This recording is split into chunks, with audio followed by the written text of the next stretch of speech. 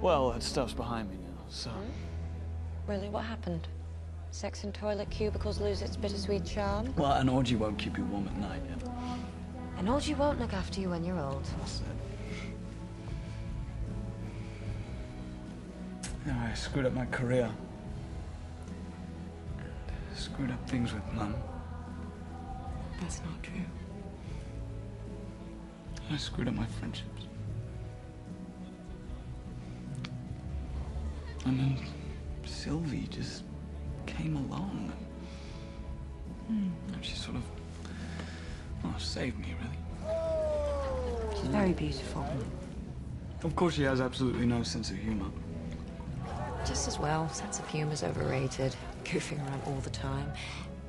The only time Ian ever really made me laugh was when he fell down the stairs. Well, you know, Sylvie says she doesn't like to laugh.